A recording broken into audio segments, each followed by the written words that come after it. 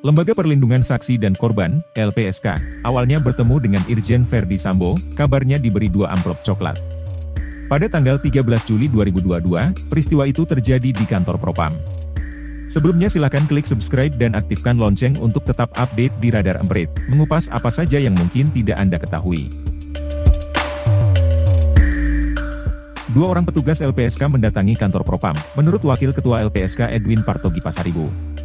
Inspektur Jenderal Verdi Sambo kemudian menyebutkan pengajuan permohonan perlindungan untuk Baradae dan istrinya, Putri Chandrawati.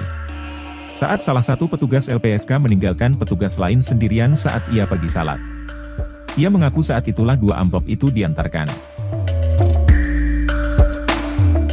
Edwin melaporkan bahwa seseorang yang membawa amplop coklat dan mengenakan seragam hitam bergaris abu-abu datang menyapa stafnya. Menurut pengakuan stafnya, amplop itu disebut sebagai titipan dari Bapak, katanya. Ia mengatakan bahwa petugas LPSK tidak mengetahui isi paket tersebut. Petugas LPSK langsung menolak dan menginstruksikan pegawainya untuk menolak dan menyerahkan kembali amplop tersebut.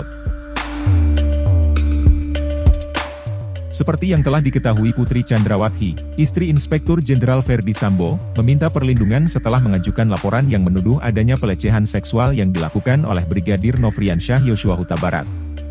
LPSK menerima permohonan tersebut pada 14 Juli 2022. Putri masih menjadi pemohon di LPSK sampai sekarang. Saat pendalaman, Putri disebut tidak kooperatif. Alhasil, asesmen Putri pun selesai. Adapun putusan yang melibatkan istri dari Irjen Verdi Sambo itu akan dilakukan pada Senin mendatang.